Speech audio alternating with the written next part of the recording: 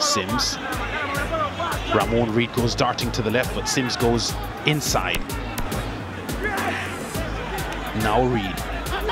Good cross inside, brilliant goal! Kemal Malcolm strikes for Arnett Gardens. Third goal of the season for the 30-year-old.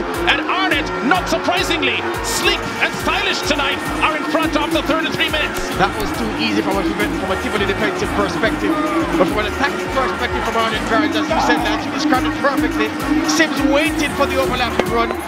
Reed sets himself, fashioned the left-footed cross, and nobody saw the blur of black and red steaming in, aka Kemal Malcolm, and his header was short. Look at how many green shirts are in the defensive position.